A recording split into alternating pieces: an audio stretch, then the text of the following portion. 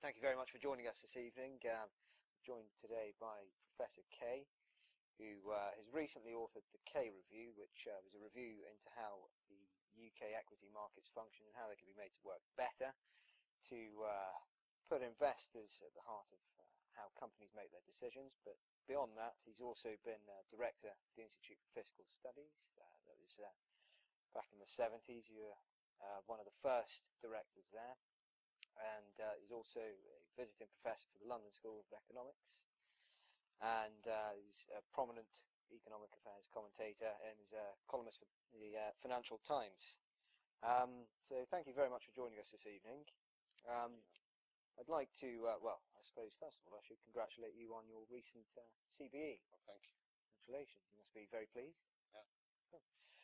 Okay, so uh, believe some of you may be uh, familiar with the uh, the Kay review, which was a big review uh, following the financial crash into how equity markets work. Um, see, the belief was that uh, short-termism was rife and that they need to be made to work uh, with a longer-term view. So um, I don't know if you'd like to expand on that and discuss what exactly prompted this review and uh, a little bit about the backdrop against uh, how it was commissioned. I suppose the backdrop and the motivating philosophy is to say that equity markets, indeed financial markets generally, ought to operate for the benefit of users, by which I mean in the case of equity markets, companies at one end and savers at the other, and not for the benefit of financial intermediaries.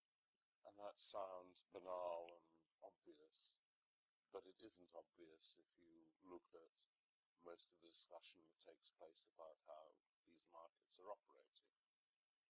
And we learned quite quickly a lot of things about equity markets that may not be familiar to most people. One is the extent to which they are secondary markets, that is, as a source of um, capital for investment in business. Equity markets don't even register on the on the radar screen.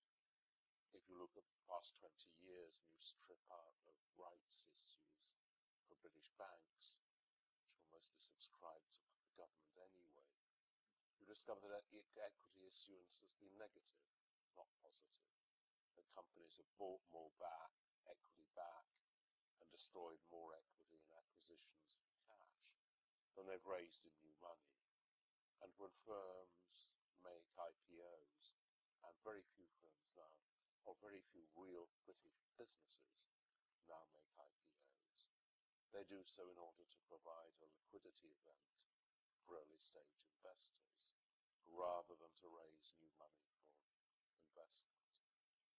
So that uh, that's the function of equity markets. What we also discovered is the way in which the structure of equity ownership has changed. You know, 50 years ago, uh, most shares in Britain were held by UK resident individuals. 20 years ago, the dominant owners were UK life insurers and pension funds. But that isn't true anymore. Pension funds have matured, life companies, life funds have declined in significance, and foreign ownership of UK shares has greatly increased. The effect of that is that the dominant players in equity markets today are large asset managers, and the top six to ten asset managers speak for something like half of all UK shares. One thing we noticed is that the chain of intermediation is kind of now extraordinarily long and extraordinarily expensive. If we say that uh, equity markets are there for users, by which we mean companies and savers, in between the companies and savers, there are custodians, registrars, nominees, fund man- asset managers, fund of fund managers, pension fund trustees, investment consultants, platforms, providers of wraps, independent financial advisors, and so on. And every one of these takes a bite out of the cherry, and and every one of these has a, a business model that isn't necessarily aligned with the interests of underlying users. That's the kind of equity market structure we have today. And obviously, you mentioned that the structure of ownership has shifted significantly. Do you think the incentives are right, and do you think they've changed at all since your review for the asset managers?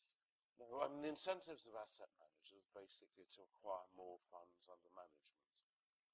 And in a world populated by investment consultants and be- beauty parades, the way in which you get more funds under management is typically to parade your performance record over the last two or three years, typically. And that introduces, so what, what, what, what this introduces is shorter time horizons to decision making than are the time horizons of either group of underlying users, either the companies at one hand or the savers on the other. And uh, I believe one thing that you talk about uh, is also briefly in the cable you touch on the financial transactions tax, and I, I believe you come out uh, in, in broadly in favour of something like that. Uh, is there a particular function that you think it would serve in terms of broad? No, the uh, financial transactions tax is a complicated issue. I would favour a financial transactions tax if we could have a, a simple tax that I was confident could be made it to would work. have to be universal, I see. Uh, right, would. No, right, but even that is complicated. How do you attack that? Tax derivative transactions and so on. The, the universality is an issue. How do we avoid simply pushing business into other jurisdictions? And at the moment, we have in stamp duty reserve tax a financial transactions tax that gives us the worst of all worlds. It's for practical purposes a tax on long-term savers from which short-term traders are effectively exempt. I think it's an interesting idea in principle, uh, but a lot more work needs to be done before one could come, come up with something that one could, any confidence, would make markets work better. Obviously, we are starting to see some implementation in Europe. Think they're on the right lines at all, or do you think they're jump the gun and I have a fear and a suspicion that they're going to end up with something as unsatisfactory as our as our stamp duty. so you don't think they've got the answer there? I don't think they've got the answer. But at any rate, they're starting to think about it. But I suspect this is not the way of addressing. Uh, well, I, I think firstly, it's not the way of addressing. Prim- it's not a primary way of addressing the problem of, of short-termism. I mean, high-frequency trading, which is very largely what we're talking about, is not something that I have much enthusiasm for. But I don't think it's the main source of short-term behaviour in the corporate sector. And obviously, uh, the Kay review is coming up for a- Review a review of itself. sorts, the, the review of the review this year. So uh, I was wondering, from your perspective, how what, how much progress do you think has been made on uh, particular areas such as remuneration, where the, the government said we're not going to intervene in this way, but we recommend that companies look at it. Do you think um, if, if progress hasn't been made, that they should be a bit more firm in how they uh, proceed following this Um, review? I, I I think this is difficult. I, I think it's very undesirable for the government to be prescribing detailed guidelines for remuneration. On the other hand, we've got a remuneration problem in both the quantum and the structure of remuneration. And if there isn't more urgency about addressing it on the part of companies and shareholders, I think share owners are now taking a, a more active part in bringing this under control. But there's a long way to go before we get sensible outcomes, I think, either in terms of quantum or in terms of structure of executive remuneration. Are there any particular areas where you're not satisfied with the progress that's been made to date?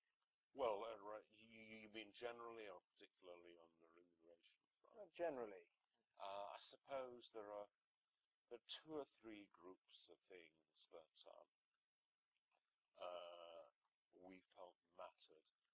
but it's difficult because in the end, what we really need is not reams of more regulation, actually, in my view. We have far too much regulation of financial services already rather than, than too little. What we really need to do is bring about a change in the culture of the, uh, of the industry. And that has to be achieved, I think, by a combination of changes on the part of asset managers and changes on the part of clients. Now, that's something that cultural changes are something that can only be achieved over a period of years. Although we, we shouldn't underestimate the change that can happen over a period of years because looking back on what has occurred over the last 20 years, we've had big cultural changes, mostly in an adverse direction. But if that can happen, it can change in other directions as think that uh, ties in with your book Obliquity, actually, where you are talking about the shift that uh, was uh, ICI, wasn't it? A company that uh, you refer to their mission statement, specifically where they move from stating that our objective is to be a, an international uh, chemicals company, we want to be the best, we want to be world leaders in this. And then um, it shifts to saying in the 90s that uh, we want we exist to maximise returns for shareholders. I And believe they you- weren't very successful in maximising returns for shareholders in that particular style of operation. And they weren't the only company of which that's true. I mean, I realised before the ICI saga unwound to its rather unhappy conclusion that actually the most profitable companies were not the most profit-oriented. And it was really working through that seeming paradox that prompted me to write the, the book Obliquity because I think it's a much more general phenomenon than uh, one to do with business and profitability, although that's an important application of the issue. What do you think it was that prompted this change in the way that companies see their, their function in the world? Is it right?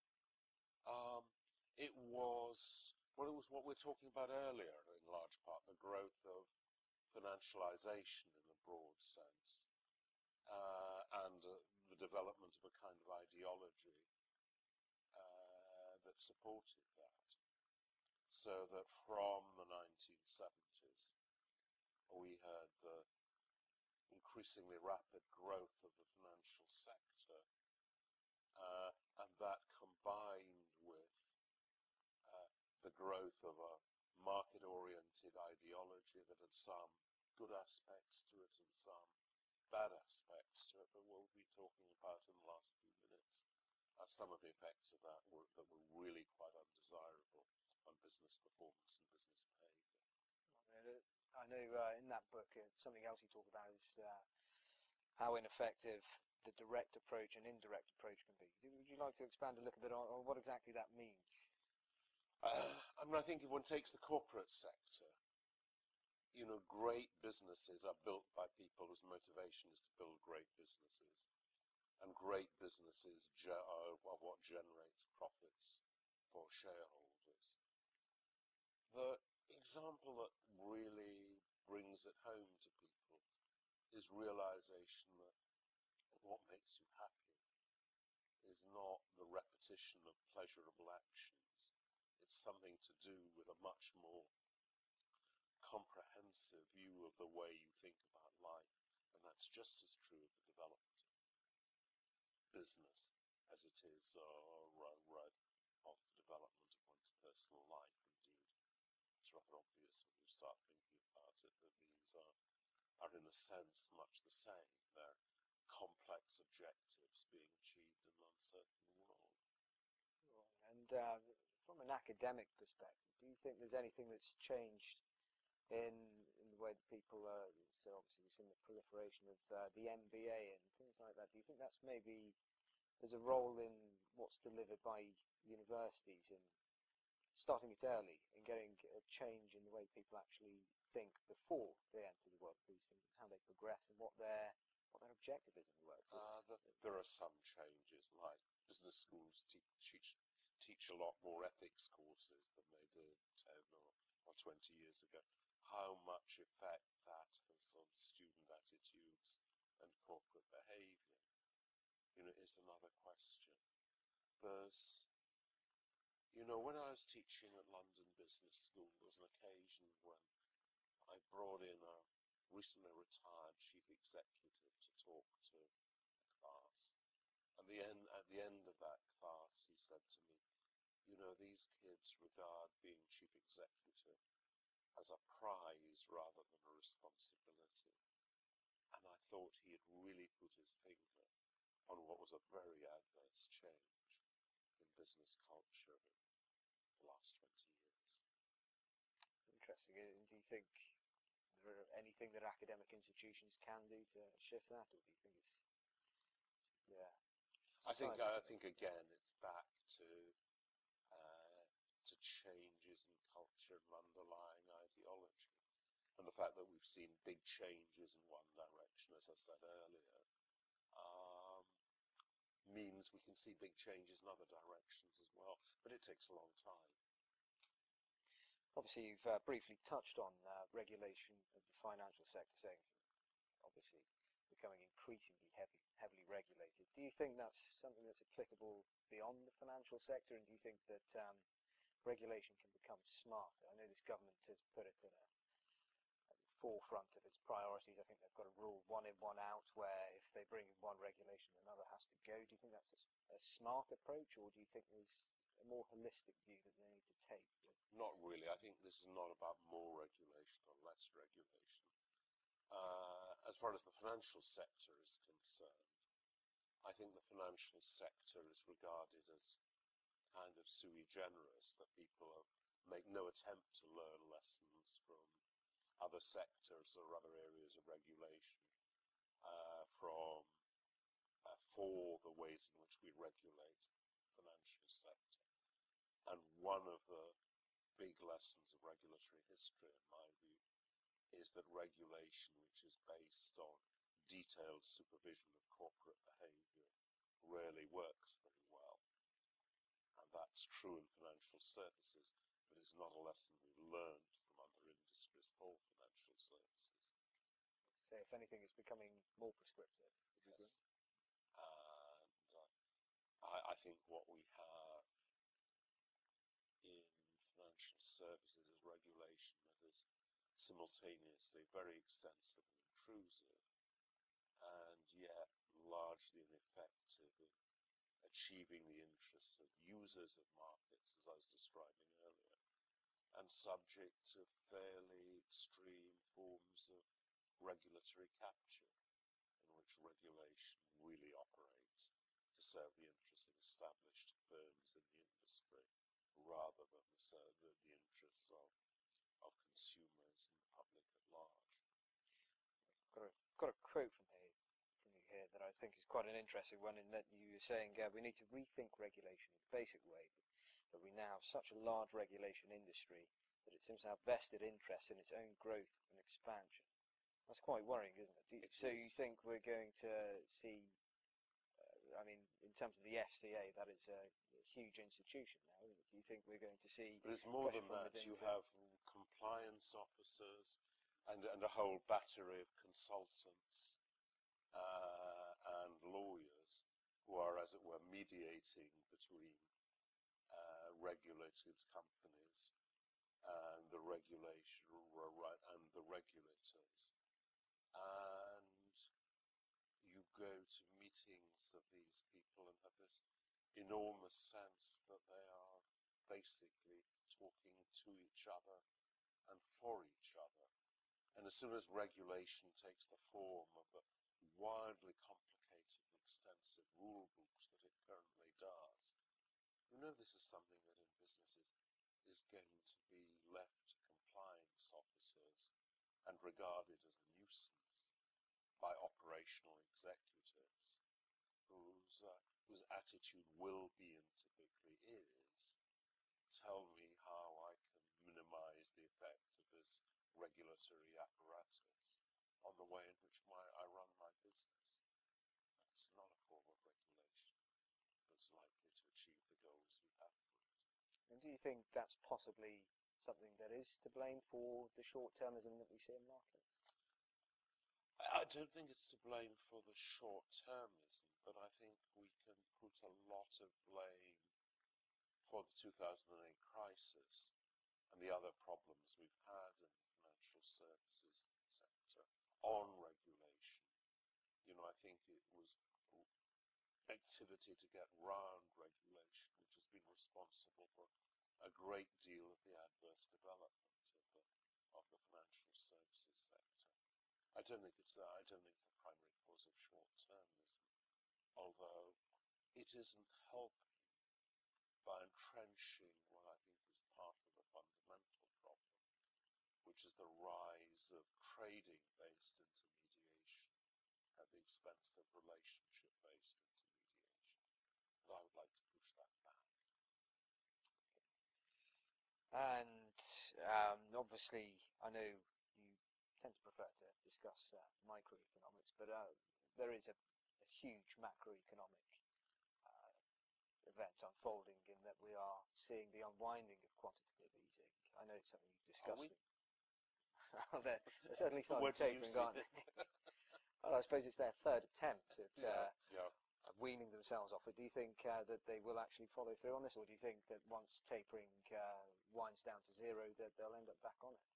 I, I would have said what we've seen so far is uh, uh kind of withdrawal in the face of rather adverse reaction when they attempted to ease it. I'm sure we will see some winding down, uh, but I think we probably landed ourselves with this uh, rather extraordinary monetary policy for quite a long time. And I think we're, we should be very far from thinking, you know, that we've solved the underlying problems that gave rise to uh, the, the 2008 financial crisis and the, the macroeconomic consequences that followed from it. You have actually spoke quite passionately on this, haven't you, in, say, in saying that uh, the benefits for society as a whole have actually been very limited when we look at quantitative easing. It was almost a, a bailout for the banks. But, uh, yeah, I, I, think I'm concerned about the way in which really for the last, best part of the last 20 years, monetary policy has been very largely about massaging the interests of the financial sector with not clear beneficial effects on how do you think the financial sector has managed to gain such sway to actually get to the point where you believe monetary policy is dictated almost purely for their benefit? It's interesting, isn't it? Why is the, in the financial sector, and particularly the investment banking industry, is really the most powerful industry lobby you know, that we now have in, in Western economies. And the sources of its power probably rather different in different countries. In the United States, it seems to be very largely the influence of money in politics. If one's blunt, it's a form of quasi-corruption.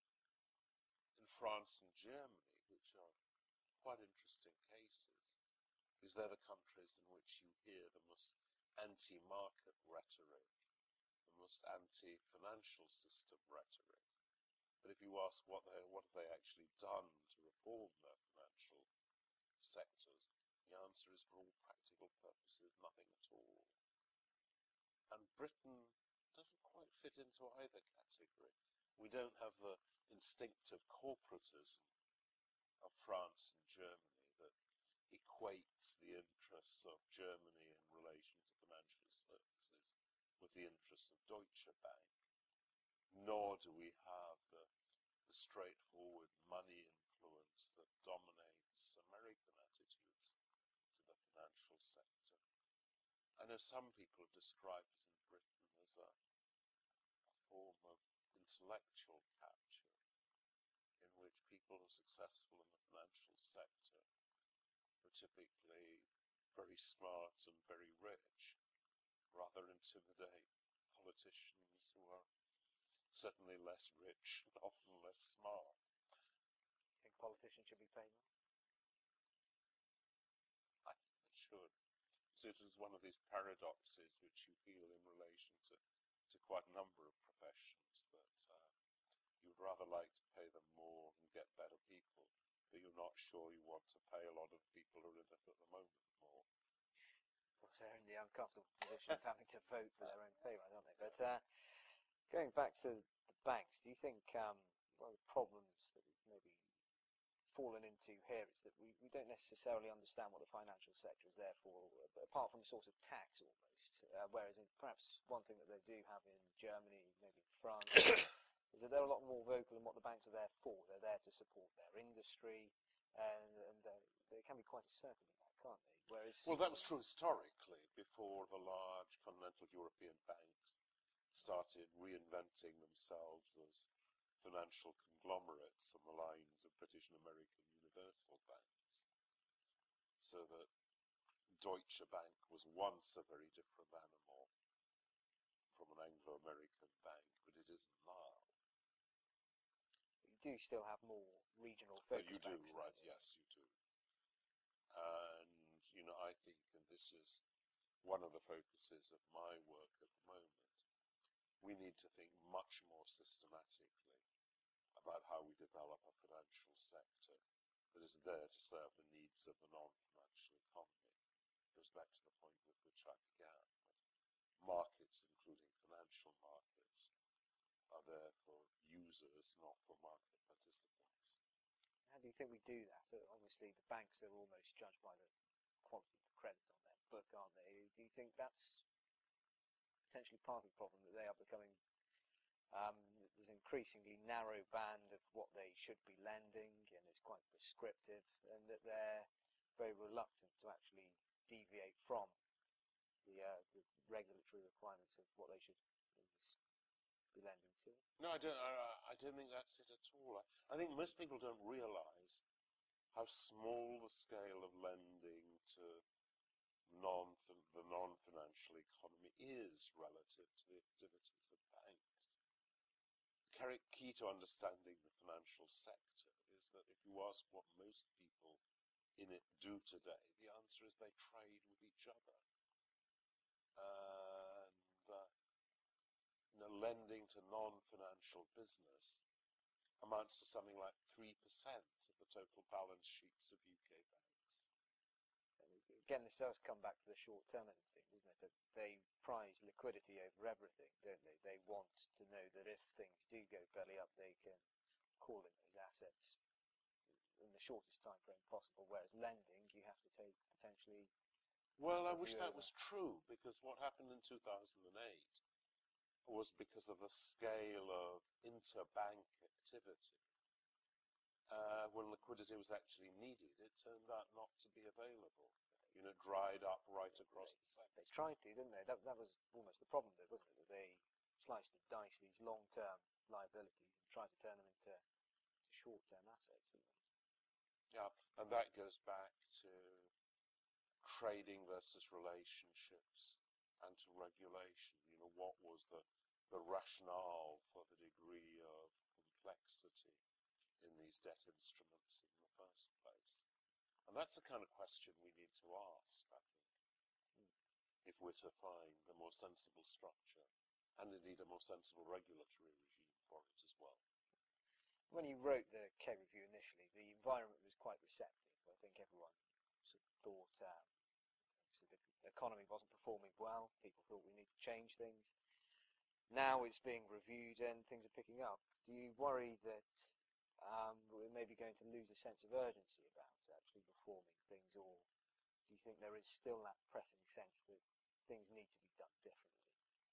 Um, I think I think the climate has changed in various ways. It's actually changed for the better in the sense in the course of the work we did on the review, because I think in 2012 there was a, almost a watershed round about the LIBOR crisis, in which a, a lot more people started to understand that things had gone wrong were embedded in the culture of the industry, and this wasn't some terrible tornado that had swept through the industry from from outside and uh, was an unpredicted, unexpected event which would occur once in a century.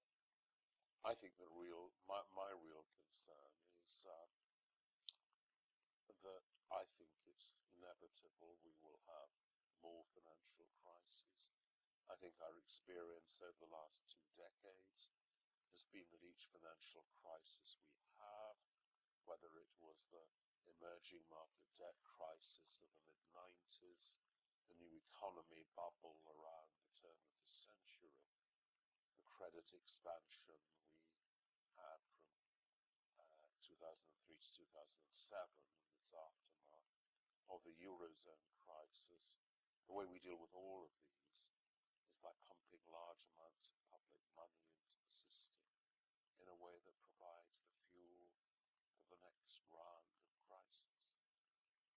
Interesting. Uh, looking at where the next crisis potentially is, we're, do you think we're possibly already seeing it unfold in emerging markets as a result of the fallout from quantitative easing? Obviously, we've seen a number of them put their rates up considerably in the last few days, Yeah. trying to stop their currencies from falling through the floor.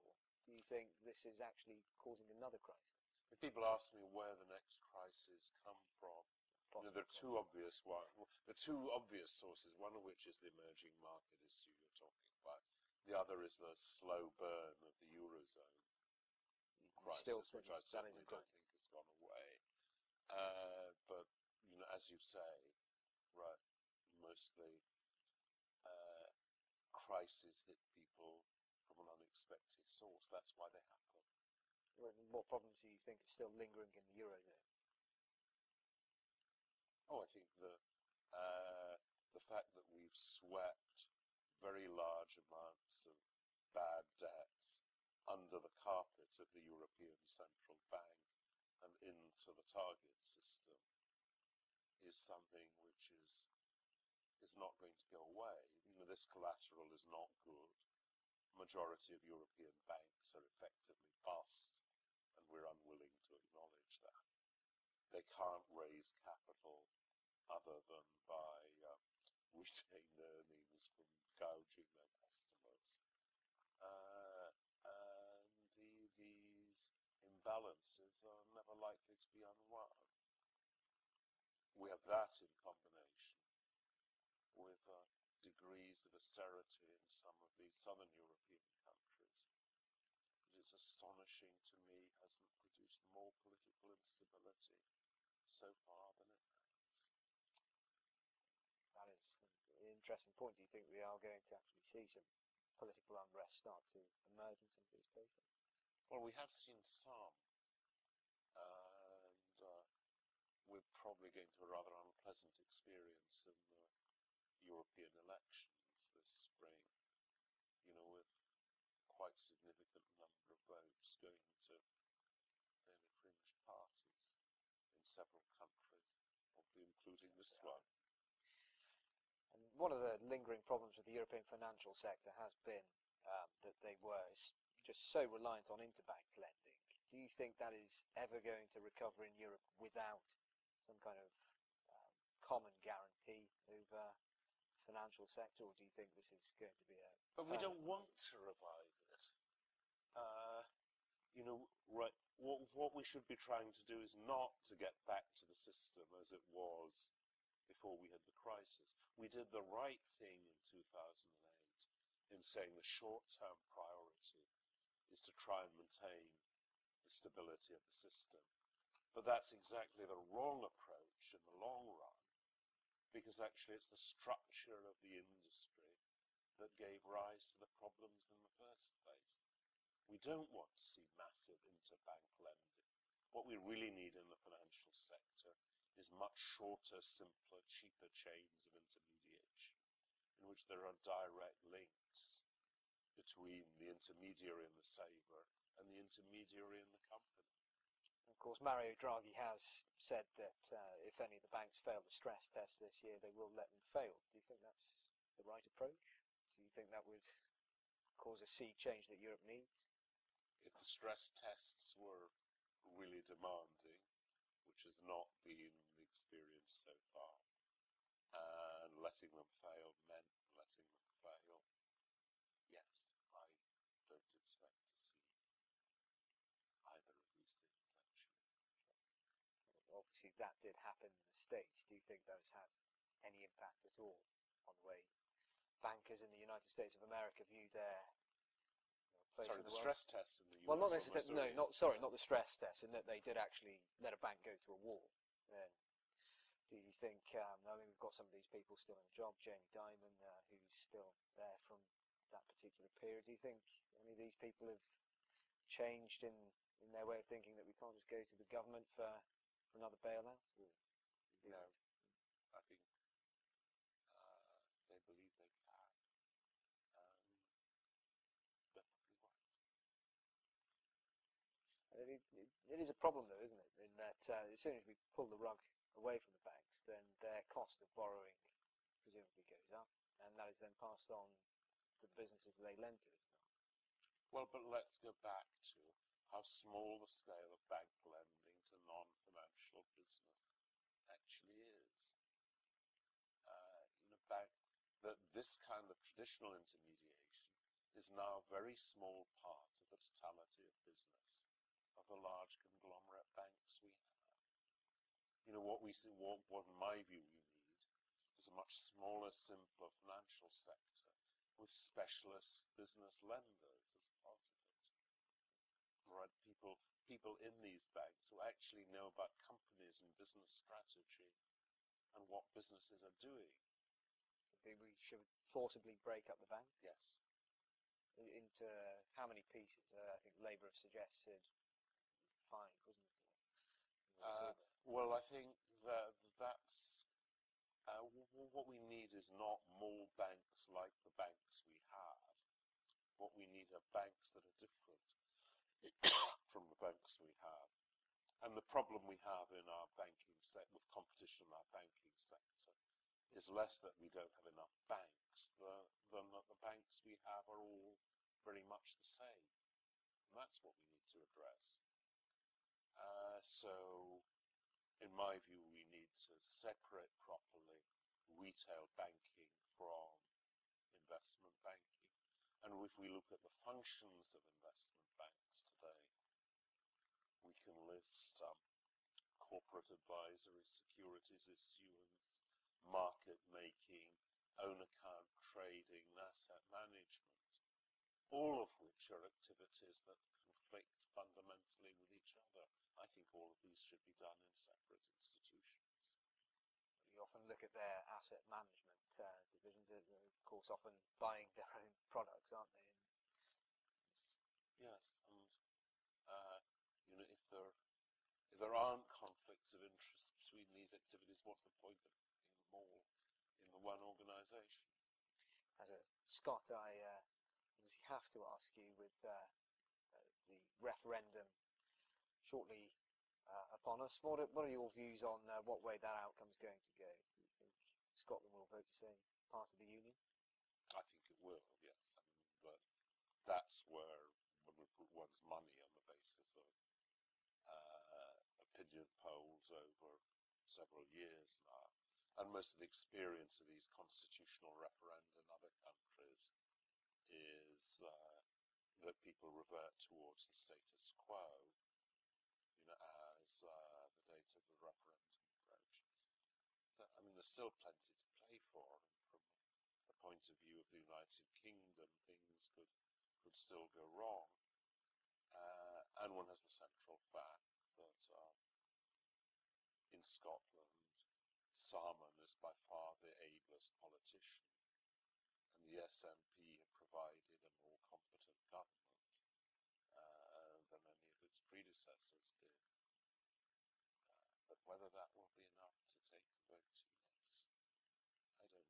In a way, all this has come, I think, rather prematurely in Scotland, and it's only been in the last few months, even weeks, that people have really started to tease out what it is that independence would mean and involve, and indeed to understand the degree to which um, real independence is limited for a small country